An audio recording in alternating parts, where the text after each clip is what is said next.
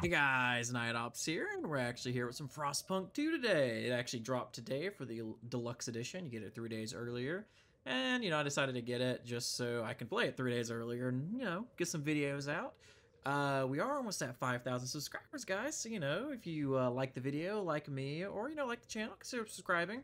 It really helps out a lot. So we're going to go into the story mode. I did a little practice originally um, because I I hadn't played this since God for like years. The first Frostpunk. Uh, so we're gonna do officer. Cause I'm guessing it's like easy, medium, hard, very hard is what I would consider it to be.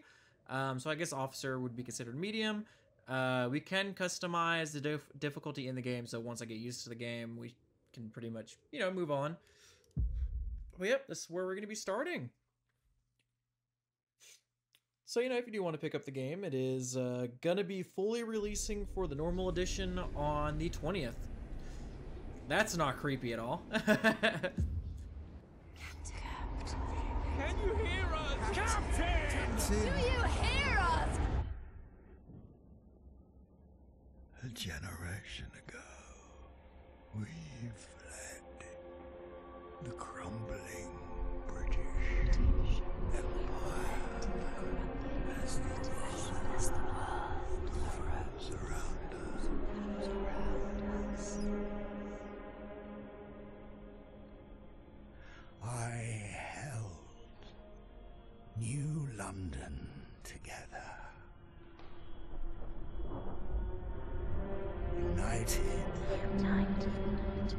we survived 30 years. Of whiteouts.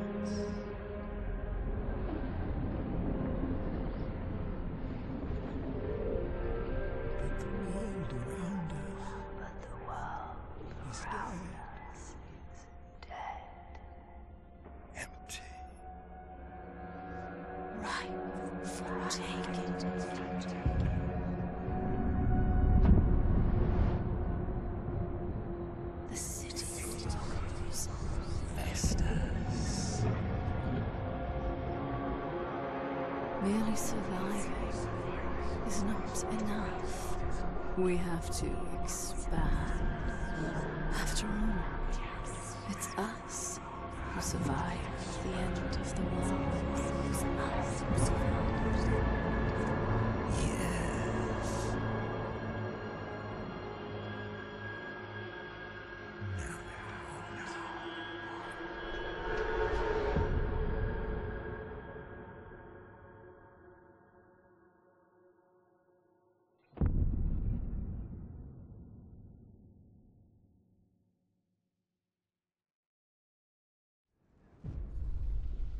Okay, that was actually really cool. I loved the oil going through the streets and stuff. I thought that was badass. So the Wanderer's Prologue. Uh, I'm gonna read it. If you guys want to like read it yourselves, you can kind of like you know pause it. Um, but yeah. So there we go. So we must survive. So yeah, if, if I go to read it, I'm gonna fumble over my words like crazy. So uh, yeah, I'm so bad about that.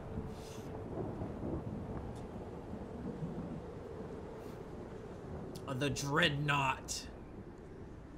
Dude, that thing's wild looking.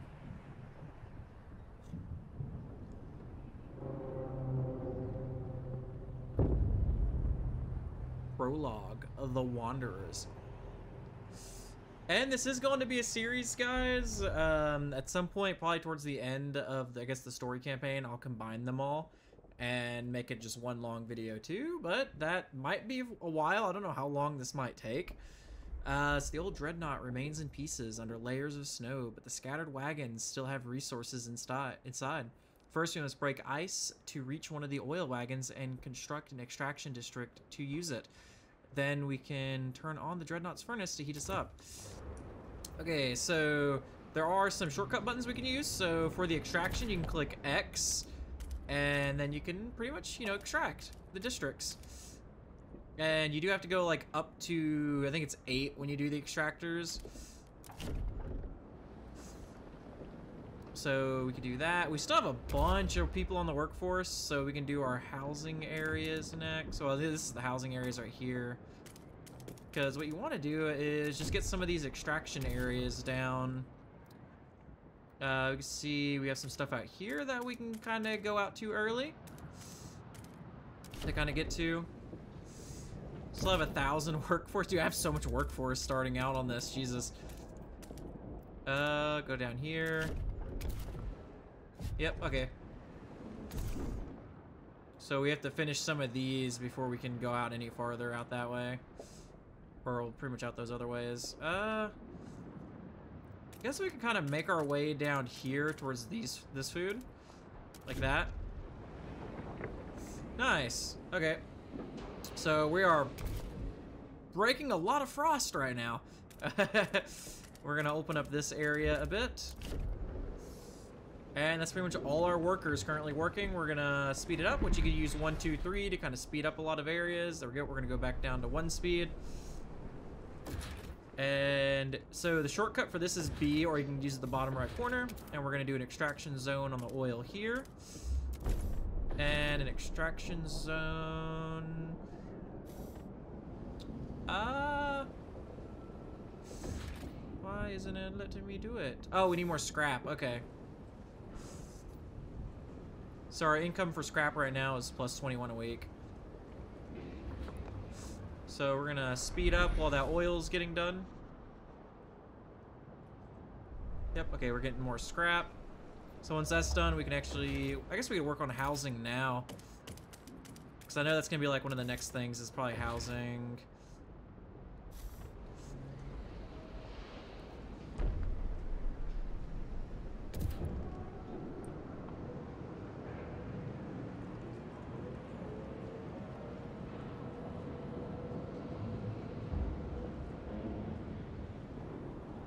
Oh, okay, we got a little thing here. So as the thick black liquid oozes through the pipes, our people rejoice. The carcass of this old machine is a testament to the hardships that made us, more importantly, uh, it's our haven in the storm. It has allowed us to weather many whiteouts and will do so again. We have oil. We, we can turn on the furnaces. So select the dreadnought. Okay, that's just saying what you have to do. And boom, generator is on.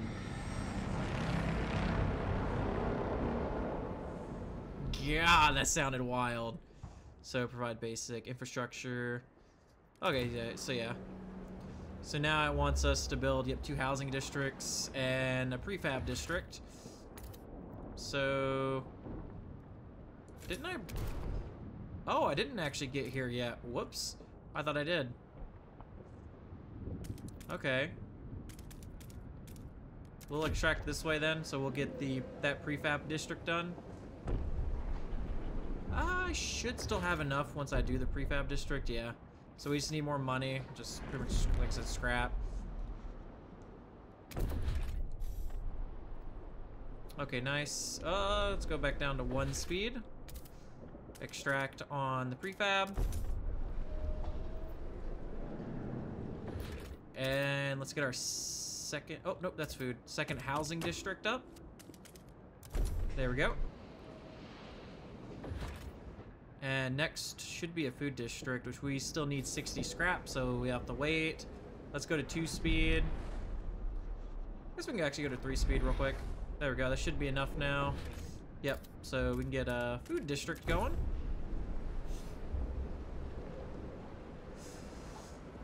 But I kind of like how they did it with the whole like city aspect with districts and everything. It makes it seem more of like a civilization building. Which I find to be like really cool. Yep, so now we're gaining access to food so that nobody starves. Easier to trap the warmth. So we still have minus five housing, so we will need another housing district if we want enough people. And we did finish the prefab, or I guess people not, you know, dying. So we'll build it here.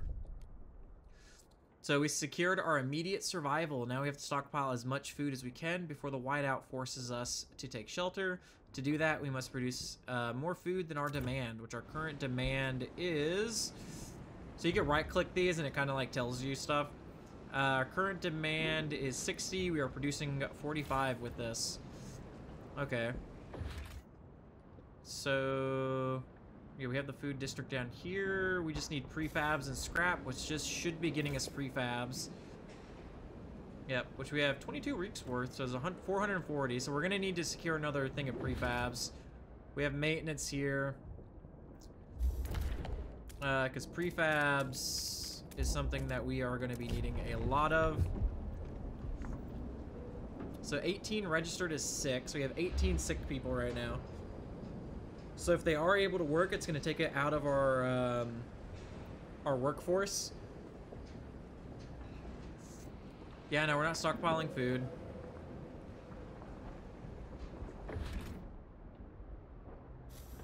I was wanting to get those prefabs up too. So how much prefabs do we? Okay, we have enough now. Okay, so we can start stockpiling food with this. Like I said, we should have this housing district up, which will we'll, have enough shelter. Yep, so we have enough shelter. We actually have extra shelter now, so we have a surplus. Ooh, I think that's kind of eating. Well, I need to actually build on this fuel here too. Because as you can see, we're not, we don't have enough, uh, we have unfulfilled heating. Oh, what's this? So Finn Kell, 42 gardener, pouring sand in his hands. We've been here so many times. The soil is depleting. A couple more and there will be no point. Erecting the hothouses, there will be nothing to grow food on. And the yield is so low, either we pull emergency shifts or tighten our belts. Otherwise, there might not be enough for anyone. Ah, so we might not be able to fill stockpiles without uh, exceptional measures. Consider asking the Wanderers to tighten belts or instill emergency shifts in food districts. I kind of don't want to do either. I want to see if I can possibly get enough uh, food without having to really do that. We're going to go down here because there's fuel here. And then we do have food here too. So we'll kind of get right there. Oh, it's a seal colony. So 400,000 on a seal colony.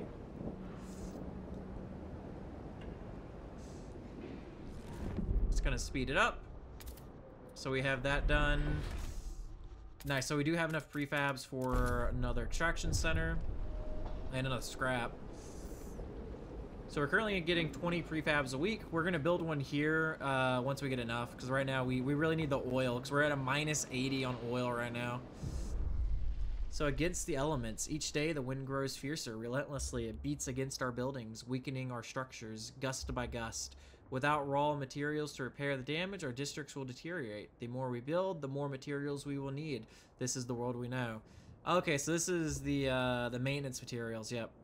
So we will use them to shore up our districts. We must uh, move quickly, or the districts will be disabled.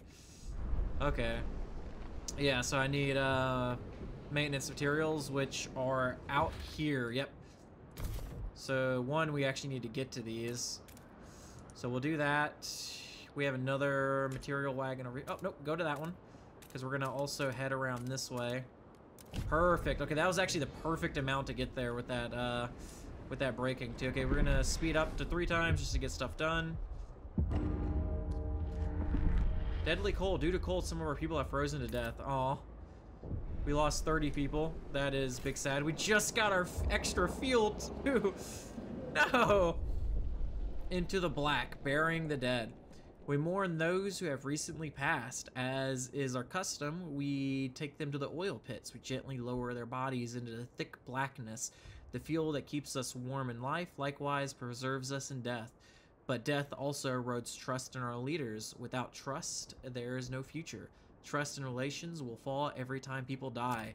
Ooh. Be grateful others have lost their lives. Ah, well. We have more housing now.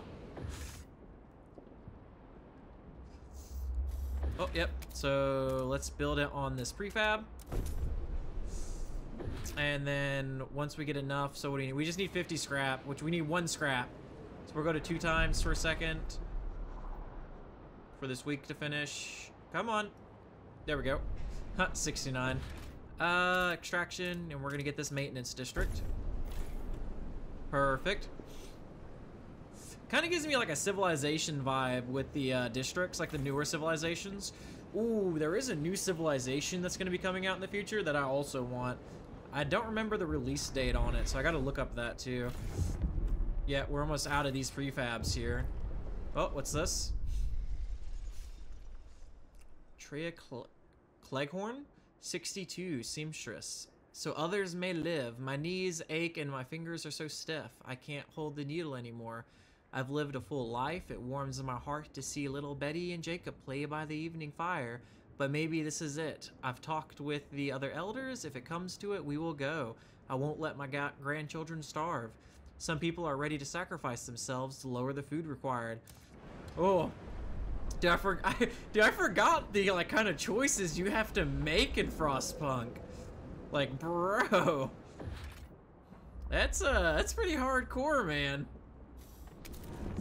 Okay, nice. We have this prefab, son. I think that's our only other prefab, right? Like, once this one depletes, we'll only have the other one there. Oh, enough materials. Good work. Uh, we are now gathering enough materials to maintain our districts. Time to focus on stockpiling food for the whiteout. Okay. Uh, let's see. Aiden Fincham, 47 Elder. Shocked at the sight of seals. Seals! I can't believe my eyes. We haven't seen them since before the Great Frost. How did they survive? There's enough meat there to feed everybody. We're saved. But should we slay them if the Lord spared them from the end of the world too? The seal colony could supplement our food production. Man, I don't know if I want to... I guess we wouldn't be murking the entire seal population, just some of them. Oh, we're not... Okay. We weren't all the way there yet. Uh... I guess we'll just kind of go out like this.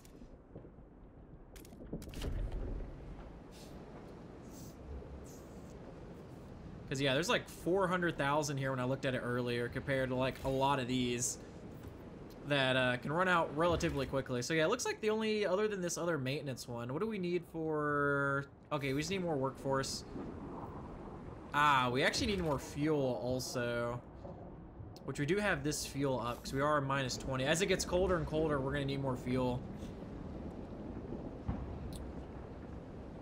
So we'll actually do that next. Oh, what's this?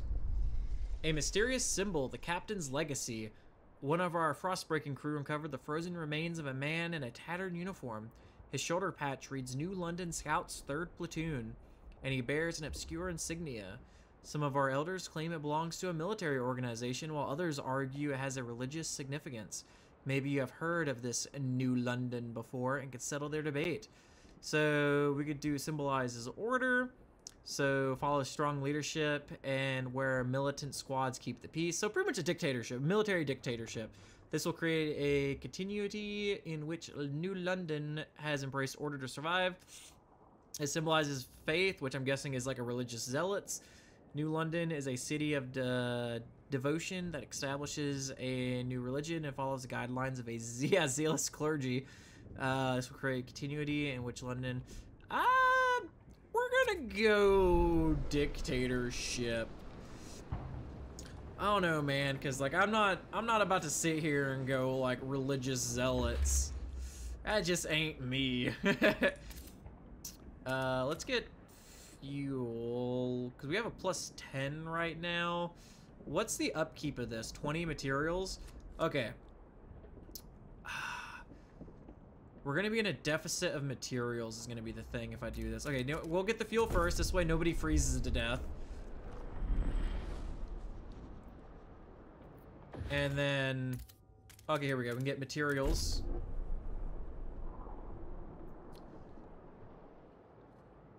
And then once we get enough for a food extractor, because that's also going to take 20 materials, and we need 200 workforce. Oh, did it heat up slightly? Because we're not ticked up on fuel now. Oh, it's because this is done. Okay, since this is depleted, we can actually demolish this and get some stuff back from it. Yep. Nice, that finished. We're actually at a plus 50 now. Well, now plus 40. So, Squalor Miner. colder season, heat demand is increased. Oh, we're at a plus 140 for supplies? What? How much is this giving me? Total output's 150. Oh my god. Okay, this is total output of 152. I guess we're just using a bunch for what we've got. Okay, let's go back to one time because I need to figure out what I'm doing right now. Um, our fuel's looking kind of rough. Okay, so it looks like we're gonna have to go into overdrive is what it is.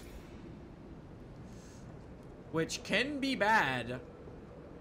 Oh, whoops, I'm clicking the wrong thing. There we go. Dang, on overdrive, we're at a minus eight. I think as it heats up, though, in the overdrive, it'll get hotter. Okay, so we're gonna do a food district here now. We're gonna eat the seals. Eat the blubber. Blubber, blubber here. Get your blubber. Okay, so here is here we can actually like tighten belts and stuff. I can take scraps from people, return scraps, which gives me favor. Uh, I really don't want to increase hunger. So let's see, so disease is absent, so we have disease stabilized. So I guess we can, okay. Hunger is absent, so it's stable. Gradually increases disease and reduces population growth. Okay. And squalor, diminishing. Squalor gradually increases disease. Uh, squalor rises when there's not enough materials to satisfy demand for the city maintenance. What? But we have enough. We have more than enough. Uh. Okay, so yeah, I'm placing that there for that optional one. So we're also going to need these uh, food stockpile hubs. So I'll build one of these. Let's uh, speed it up because that's almost done. There we go. So we have that optional. Seals, if we hunt them all, we'll definitely have enough for the whiteout. Don't hunt them all now. Hunt sparingly and we'll have seals forever. Yeah, that's what I'm saying. That's a smart man right there. That man is smart. People in the camp are getting tense. They worry we won't have enough or won't be able to gather enough food in time. Our hunters propose to slaughter the remaining seals, including pups and females. This will allow us to gather more food, but will wipe out what could be the last colony of these creatures on Earth. However, many elders have volunteered to walk into the Frostland rather than be a burden on our resources. Their sacrifice would significantly reduce the uh, rations we need for the whiteout. What should we do? Hmm. Greatly increase.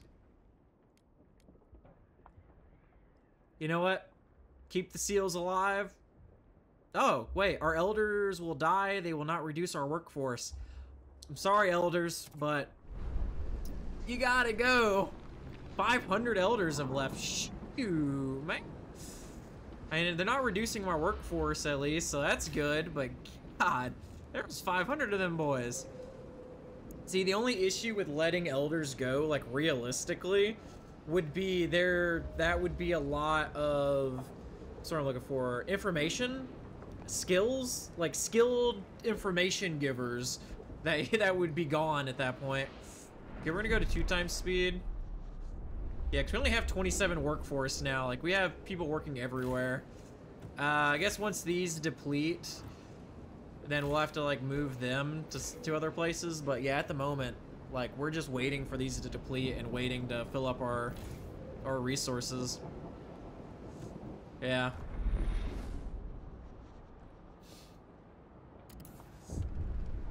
Oh. Let's see what this says. Sierra Finchman, 13, trainee seamstress. No more stories. Granny's gone for her long walk. She says I'll see her again one day, but not for a long time. She told me lots of great stories, Granny did, about blue skies and sun so hot you could go without clothes. about a thing called the sea, like a big tub of water, which Granny once sailed across on a wooden dreadnought to visit friends who spoke funny words about how it got cold. Who will tell me stories now? Man, I'm sorry, little girl. I'm sorry, but she had to go. She had to go. The elder's sacrifice has greatly reduced the amount of food required for our survival. Man. Granny had to go. I'm sorry. So, so this is for emergency shifts. So trust falls if I do this. Hmm. Now, honestly, I could, I don't need scraps now, so what I'm gonna do, where's the trust at, actually? Where do I see the trust? I want to figure that out real quick. Because I could give, is this trust right here? Ah, okay, so this is trust. So what I'm gonna do is, I'm gonna give scraps back. They will make use of it if we survive. So it's nice to know the leaders care. Okay, so this extraction district is depleted, so we're going to just tear it down.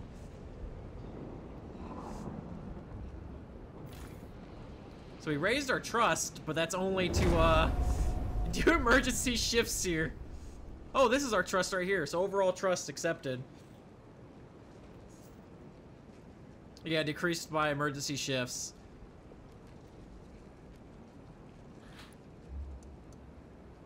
Oh, I can't do it again. So in three weeks, I can I can return some more scrap. Ooh, that one's depleting too. Huh. I mean, we're stockpiling a bunch. It's, uh, the whiteout's coming though, that's for sure.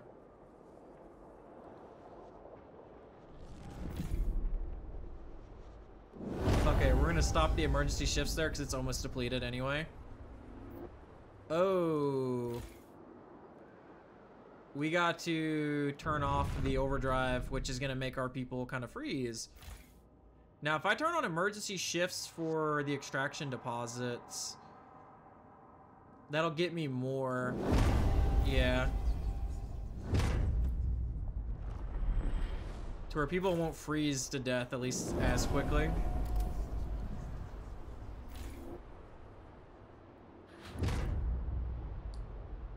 Okay, now we can do another food district here. Ah, I haven't extracted to it yet. Crap, okay. There we go. Food secure. We did it. Secured enough food to survive the incoming whiteout. Our workers will make some last minute preparations before the storm arrive. We should keep our people warm all this time. We will survive. So I'm trying to institute these emergency shifts, people. We gotta keep warm. I mean, I love seeing these. It's actually really cool.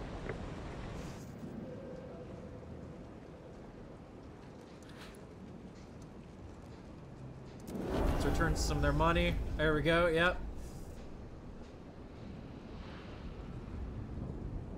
Get that favor up. I'd rather a full stomach, but scraps are nice. Hey, hey, I'm getting you both, people.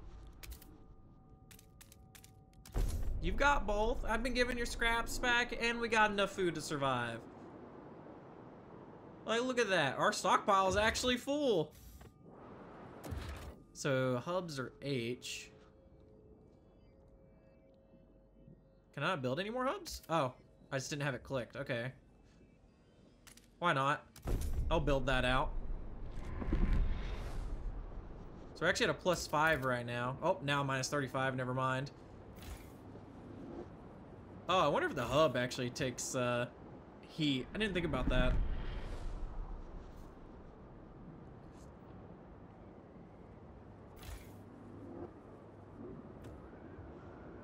Nice, okay, so we got that food up. How is the state of the overdrive on the generator? So it's at 61% right now. Oh, here we go. Oh my god. Let's go to a one-time speed. Dude, that minus 1,000. Okay, over overdrive ain't helping nothing.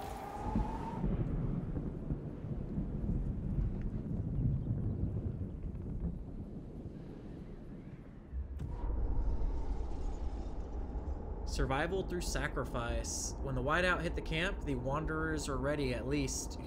Those who remained were, they huddled together while howling winds buffeted the rusted up hull.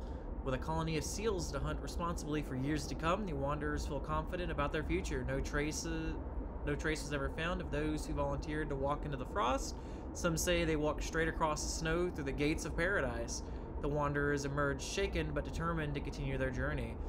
They pray for the day the whiteout stops. The storms are fewer and further between. Maybe one day their prayers will be answered. We survived.